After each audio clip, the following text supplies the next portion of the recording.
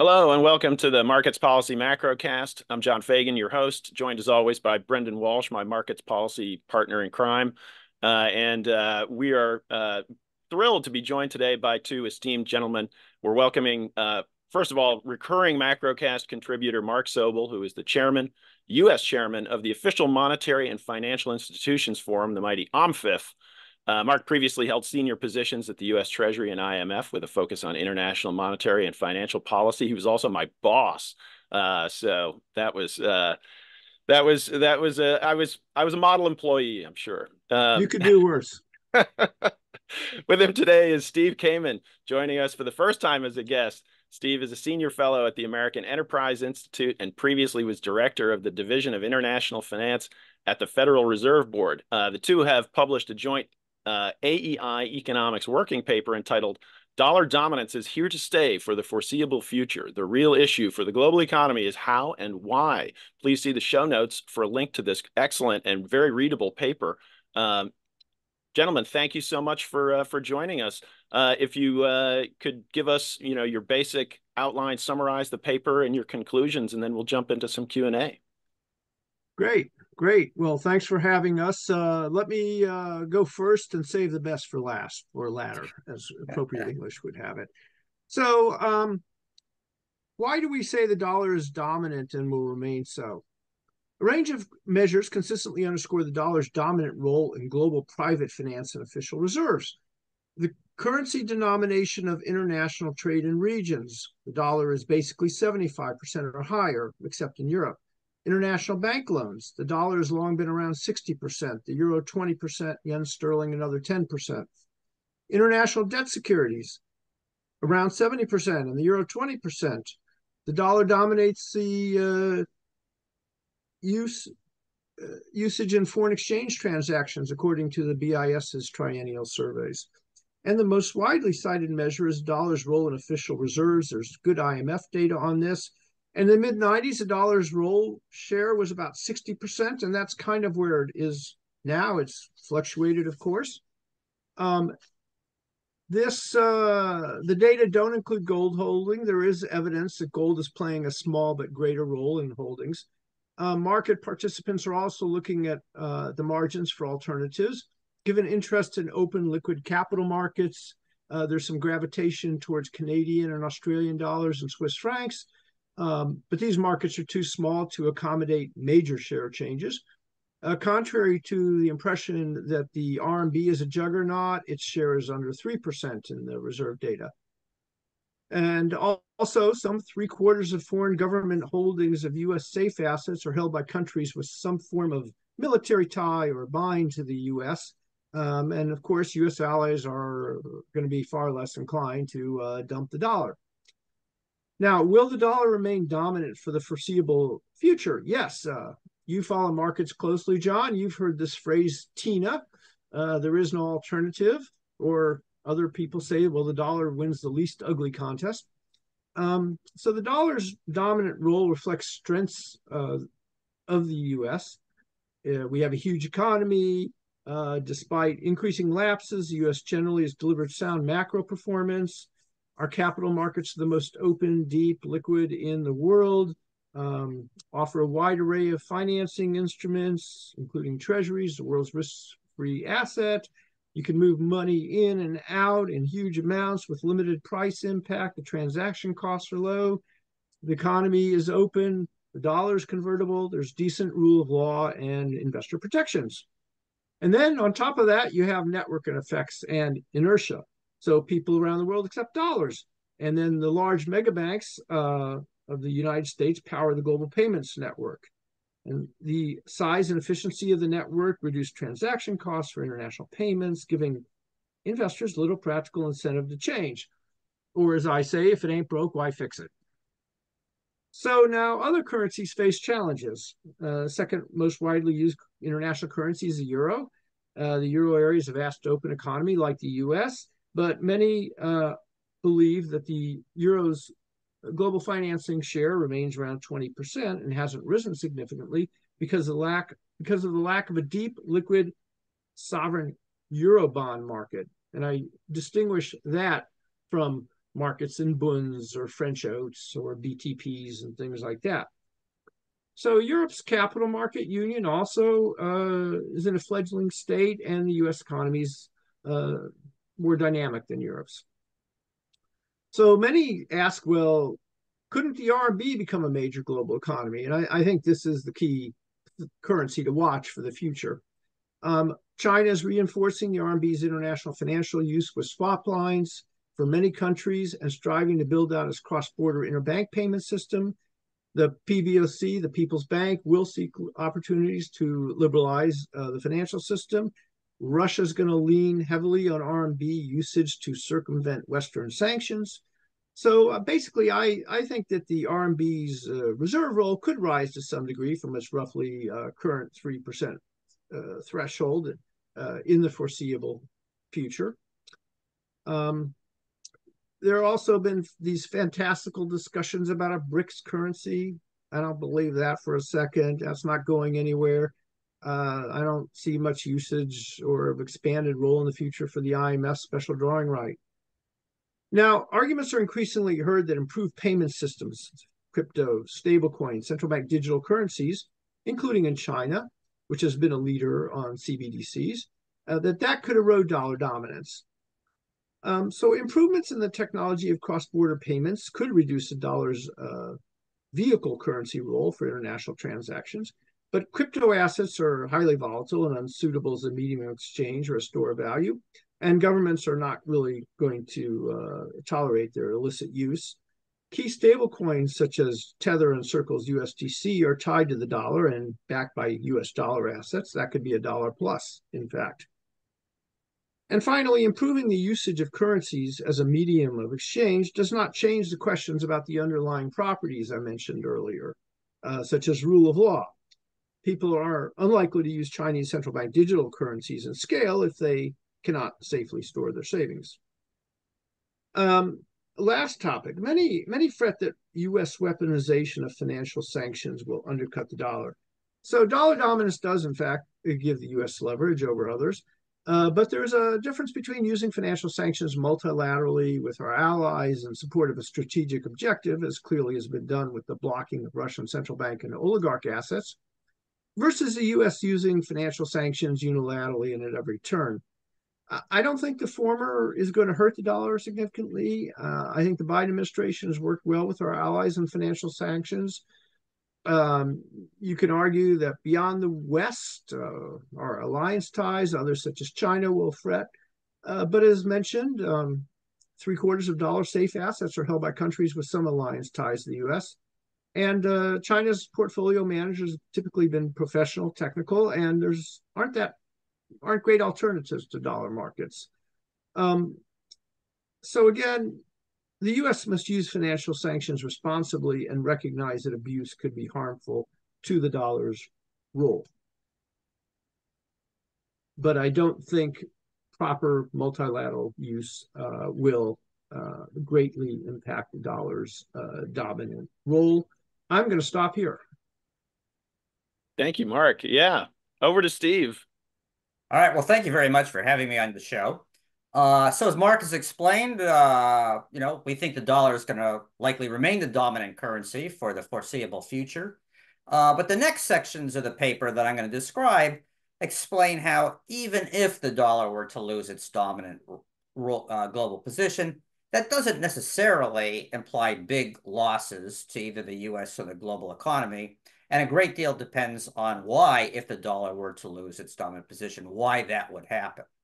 So let's first focus on the benefits that the dominant dollar provides to the United States. Now, in the 1960s, the French used the term exorbitant privilege uh, to describe how the U.S. could use its dollars to buy all kinds of things overseas without having to sell a commensurate amount of stuff to foreigners. And we agree that the dollar does indeed provide certain privileges to the United States economy, but we disagree that those benefits are so great that be would be labeled exorbitant. So let's kind of like tick through a number of the benefits that the dominant dollar does afford. And we'll start with the most obvious, which is seigniorage. okay? So about a trillion bucks are held in US cash money overseas. If foreigners were holding U.S. treasuries instead of the cash money, uh, and assuming they were they'd get paid four percent per year for that, that would cost the U.S. Treasury an additional 40 billion bucks. That's that's basically the seigniorage amount. And that sounds like a lot, uh, but it's actually only 0.15% of GDP. So a material but not huge benefit to the US. Probably a more important benefit of the dominant dollar is how it might actually lower the uh, rate of interest that the US Treasury pays on all of its bonds which makes sense given the safety and liquidity of U.S. Treasury bonds. Uh, but how much uh, are those cost savings as a result of the dominant dollar? And that's the thing that nobody knows. Now, what our paper does is in a very simple way, looks at real treasury, treasury yields in the US compared to Japan and Germany. And as it turns out, over the last couple of decades, real yields in the States tend to be at least as high and often higher than in those two other major economies. So this suggests that whatever cost benefit is associated uh, for the United States with the dominant dollar, it's probably not all that great. Now, a third possible advantage of the dominant dollar is that by boosting the demand for dollars, it also boosts its value. That can that basically leads to larger current account deficits and allows the U.S. to live beyond its means, the thing the French were criticizing us for. Uh, and that, that uh, channel, again, makes sense directionally, but the size of any overvaluation is, again, very unclear, okay? The United States is hardly the only country uh, in the world to run very large and persistent uh, current account deficits. Uh, it's averaged about 3% of GDP over the last few decades, a little lower, actually, than Turkey and Australia, and a little bit higher than UK and South Africa. Uh, but again, not huge. And on top of that, a higher dollar and bigger deficits isn't necessarily an, an uh, unalloyed benefit to the states. It leads to protectionist pressures. It leads to a loss of competitiveness. And finally, some observers point to the benefit of the dominant dollar uh, in terms of providing insulation for our economy against external shocks. Uh, but that too is a mixed bag. On the one hand, having our imports invoiced in dollars is helpful. Changes in the dollar exchange rate have less of an impact on import prices and inflation. And on top of that, during crisis times, uh, you know, uh, because the dollar is a flight to uh, safety currency, uh, capital inflows tend to buoy the dollar and reduce interest rates, which can be handy. But on the other hand, that same rise in the dollar makes U.S. exporters less competitive, competitive and also lowers the dollar value of U.S. investments overseas. So to kind of like to summarize, yes, the U.S. enjoys some benefits uh, from the dominant dollar, uh, but we'd hardly regard those as exorbitant. The paper then turns to costs and benefits of the dominant dollar for the rest of the global economy. And here, an awful lot of observers actually emphasize the costs to the global economy more than the benefits. They argue that because of dollar dominance, the monetary policy decisions of the Federal Reserve exert an undue influence on the rest of the world. And they also note that because much of the world's exports are invoiced in dollars, increases in the value of the dollar make those exports more expensive around the world and lead to a contraction in world trade. Again, directionally, there's something to be said for those arguments, but without getting into the weeds here, we're not convinced that either of these concerns are really first order problems, and they're likely to be superseded by the benefits to the world uh, of having a dominant currency. Uh, it reduces transactions costs and it reduces uncertainty by providing a common unit of account, means of exchange, and store of saving. And if those uh, phrases sound familiar, they're the exact same reasons why money is viewed as an improvement over barter in the domestic context. So presumably having a dominant currency has actually encouraged a higher level of global trade, investment, and economic activity. And so if you like globalization, you should like the dominant dollar, or at least any suitable dominant currency. So this brings us uh, to basically the ultimate question, which is what would it matter if the dollar lost its dominant position? And uh, as our title of our paper, which is almost longer than the paper itself, suggests, uh, the answer to that question, as in all things in economics, is it depends. If the loss in dollar dominance owed to improvements in financial technology that reduce the need for the dollar in cross-border payments, that would increase the efficiency and dynamism of the global economy and likely be a plus for everybody. Uh, on the other hand, if the loss of dollar dominance reflected a broader geoeconomic fragmentation uh, of the global economy into isolated trading and financial blocs, probably revolving around the US and China, uh, that would be a blow to global trade, productivity, and economic growth. And then finally, I turn to the scenario that Mark and I are most concerned about, uh, which is uh, a severe deterioration in the U.S. fiscal, financial, and economic situation, reflecting polarization and dysfunction of our political system. Uh, if the result of that is a sustained rise in inflation, a crowding out of private investment, heightened financial volatility, and ultimately a reduction in the dynamism of the US economy, then the loss of dollar dominance that would re result from all that would indeed be the least of our worries, as well as those of the rest of the world. So with that, I might pass the baton back to Mark to see if he wants to say any final words on that issue. Well, just very quickly, uh, what I would what I always say is that the biggest threat to dollar dominance is the United States of America.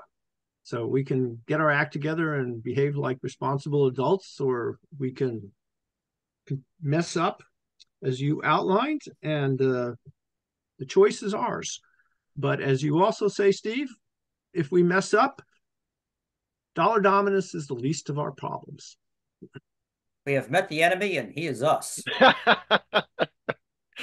Excellent, gentlemen. Thank you. It very cogently argued and uh, and analyzed, and uh, just wanted to uh, throw a few questions your way, get your reactions. So essentially, it seems as though what you're saying is the dollar dominance is, you know, by all metrics, really still very much uh, in the the prevailing dynamic. Uh, though you did allude to the fact that you know the FX uh, FX reserves uh, the tables in the uh, in the paper don't include gold, and gold is potentially, you know, it seems to be coming up relatively uh, uh, more strongly recently. Obviously, we can see the gold prices hitting records and so forth. Bitcoin uh, and and Tether, you alluded to those as well, those alternate payment systems. So, is it fair to say that the dollar can still maintain dominance? particularly against fiat currency uh, competitors, but still lose ground on sort of a relative basis to the overall uh, payments and, and reserves um, uh, market? Well, John, as you know, the world is awash in money, and um, people are seeking uh, diversification uh, always.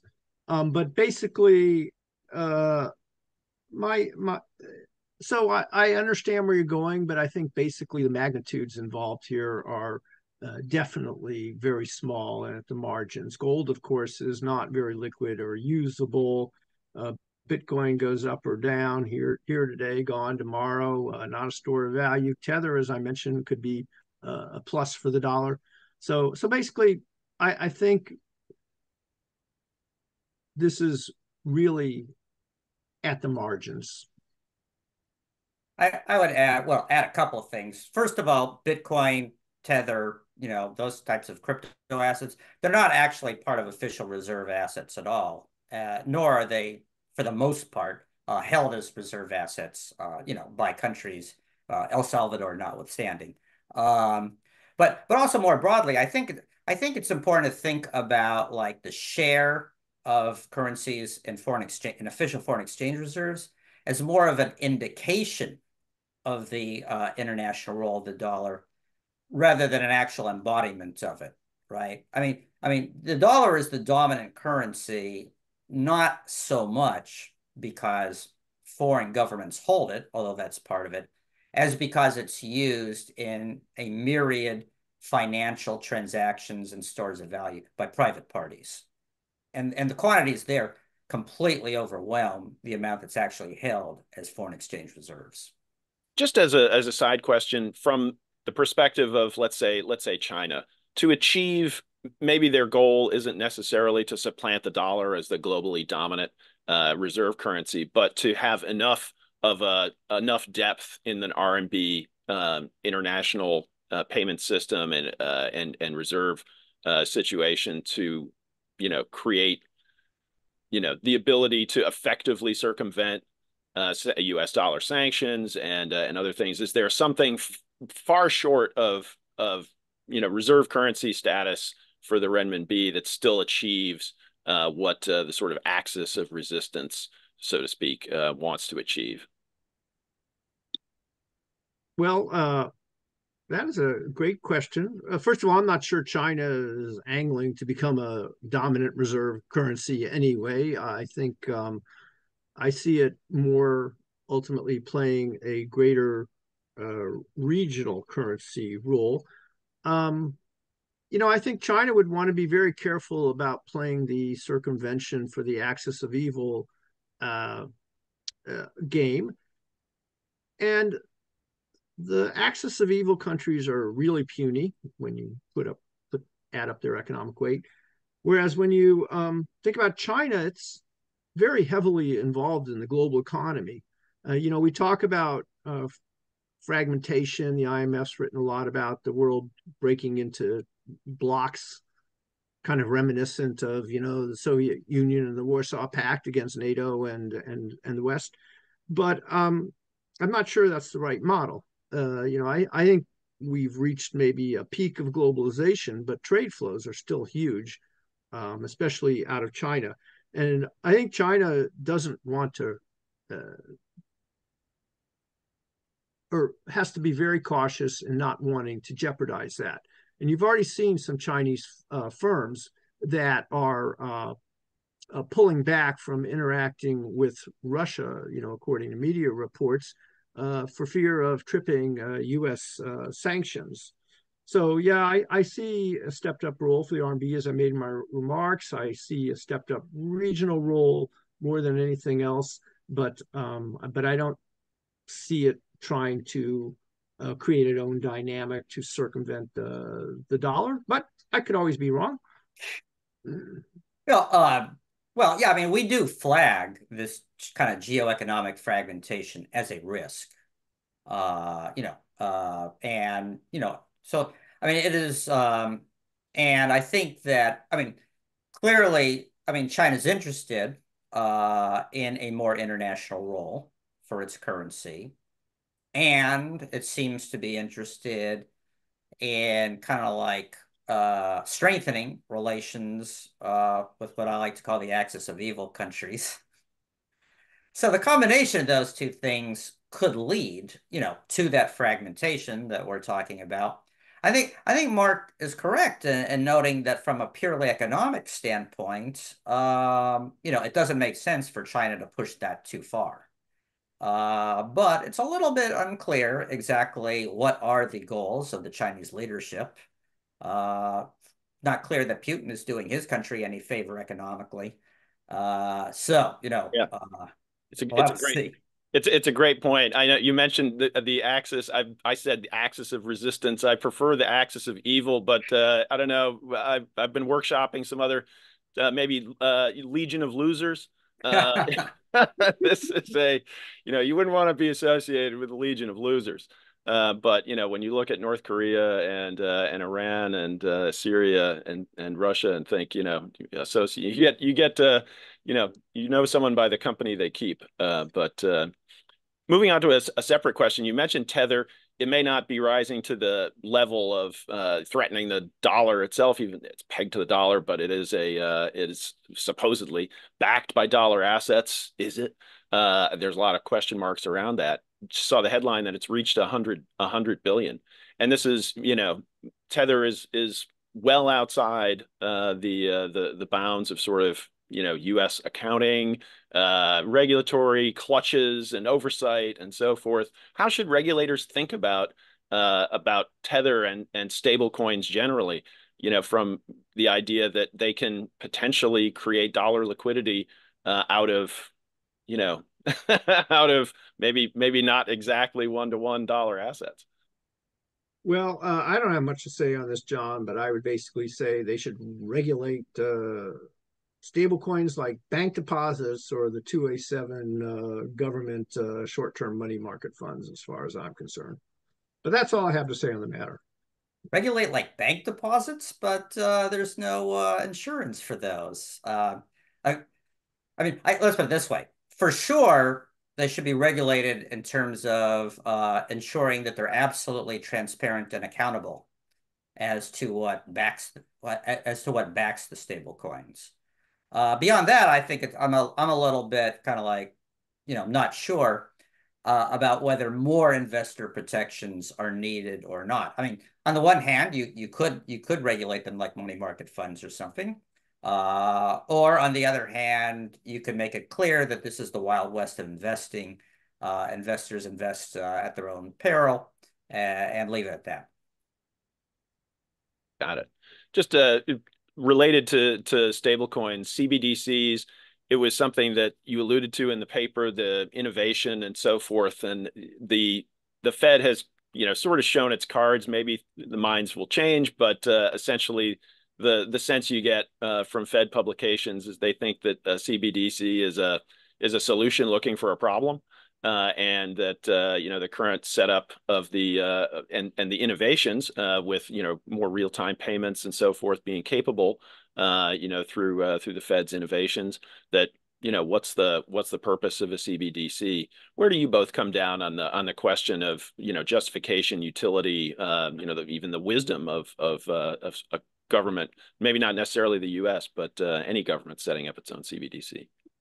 Well, I'm, I'm with the Fed uh, on the value of CBDCs for an advanced economy like the US. So if we look at developing economies or emerging market economies, a lot of them have large numbers of unbanked people, highly concentrated banking systems, very large informal sectors.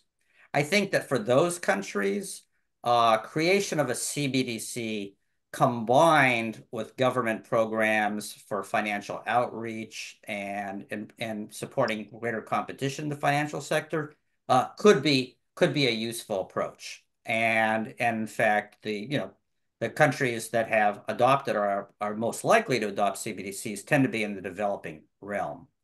Uh, for countries like the United States, uh, with a moderately competitive financial sector, very low numbers of unbanked, and already lots of private digital payments alternatives.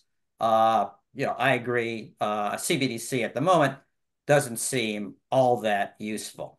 I, I would note that centuries from now, when we've got colonies on Mars and the asteroids, and maybe we're heading to other stars, uh, you could imagine that in that context, when you get off your spaceship and walk into a bar and buy a drink, uh, seems like you know, pulling out paper money out of your wallet seems a little bit anachronistic. So my point being that at some point we probably will have CBDCs, uh, but not clear they're needed now. Yeah, what what what currency is accepted at the Star Wars cantina? Exactly. right. Exactly. Nice.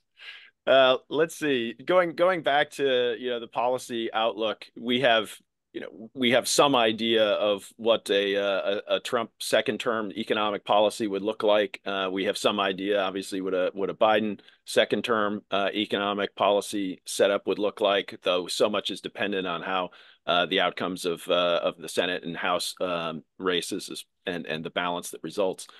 Where do you when you stack up these two against each other? Um, you know, such as we can understand them uh, at this point what is the what's the is there is there an approach that you think is uh, uh, better for the dollar uh, dollar dominance? Is there a, is there one candidate that's more of a more bullish for the dollar than the other? Well, um, uh, focusing on the international role of the dollar rather than the the foreign exchange value of the dollar, uh, I think that uh, the Trump a second Trump administration offers a number of important downsides. Uh, first of all, uh, the threat to substantially increase tariffs, uh, you know, is going to not only pose a blow to the global, to the U.S. and global economies, uh, but will very visibly uh, kind of like weaken uh, the reputation of the United States as a as a, a responsible actor in the global economy.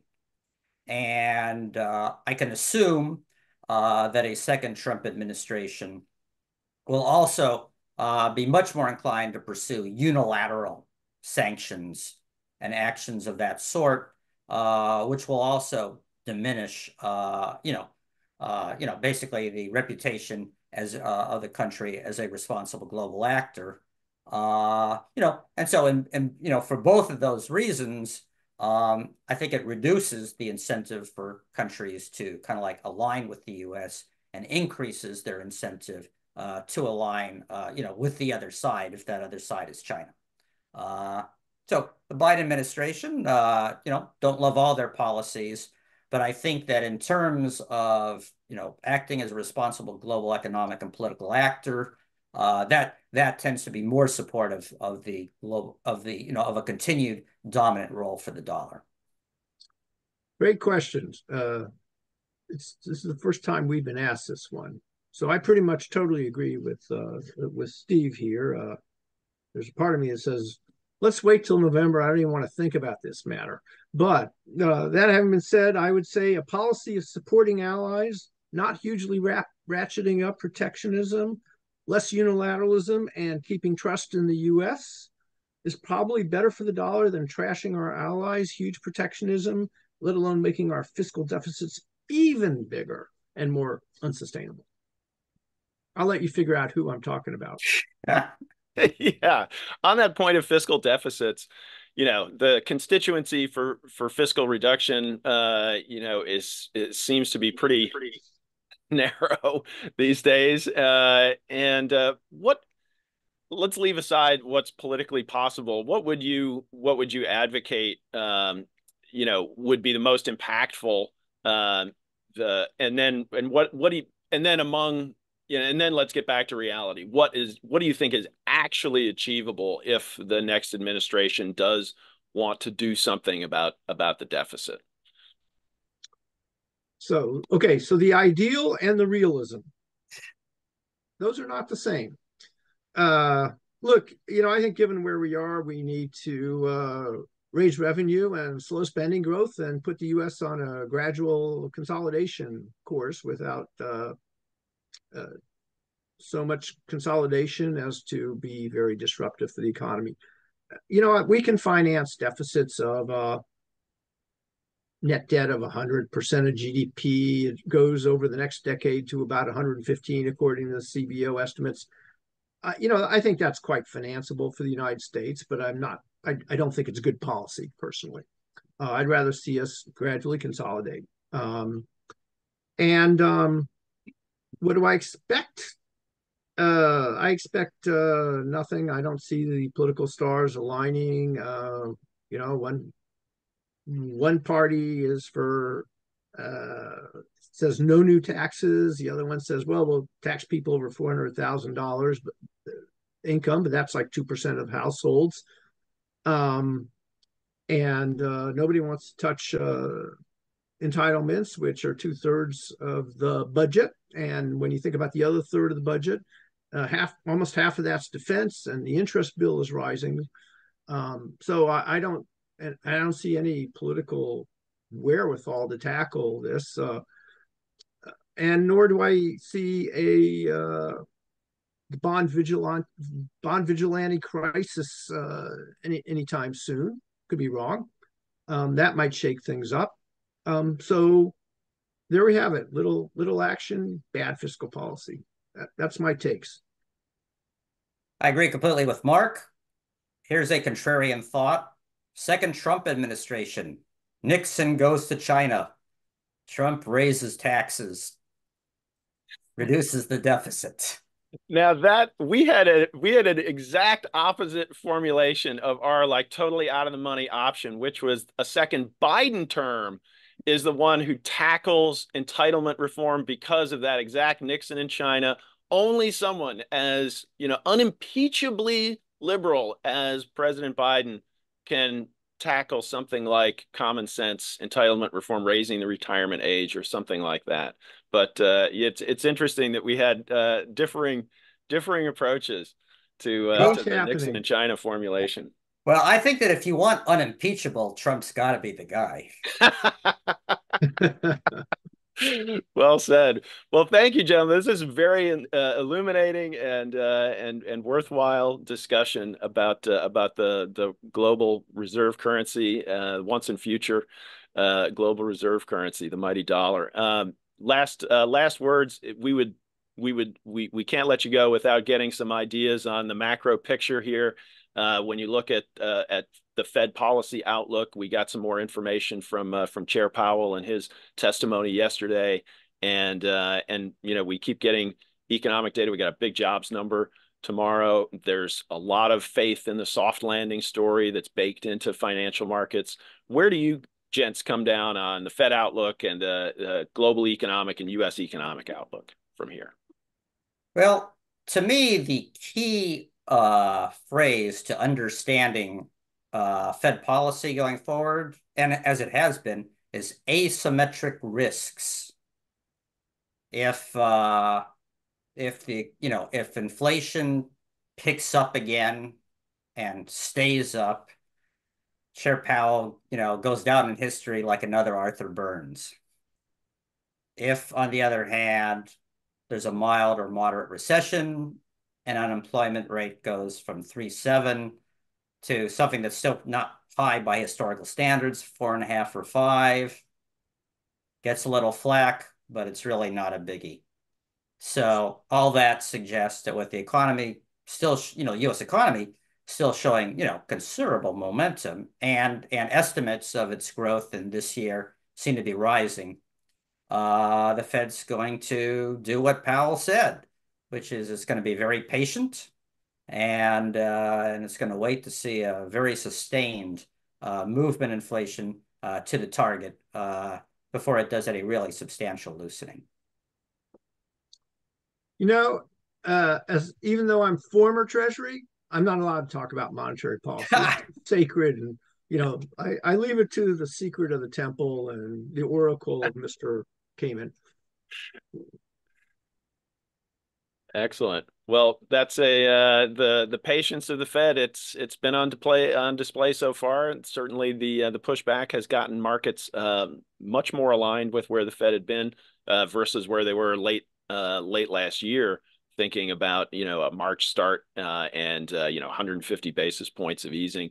They've come off that, but uh, you know the markets are still positioned for more aggressive uh, cuts than the Fed is projecting at this point. Um, we're with you. We're uh, we're expecting that July is the first, but with a bias toward later and slower, uh, and that is you know commensurate with a view that we've got about you know relatively sticky, but problems with that last mile like the two to two to three percent inflation fight, not wanting to declare victory too early, and uh, the U.S. economy beginning to slow down uh, without you know with the consumer beginning to tire out a little bit, and uh, and you know creating at least you know the the whiff of stagflation may not be all that uh, all that pungent in the U.S., but maybe a little bit uh, heavier in in other markets, uh, you know Europe, UK uh, potentially as well. So uh, that's uh, that's where we stand. Uh, any any last uh, any last words, gentlemen, before we uh, before we wrap it up?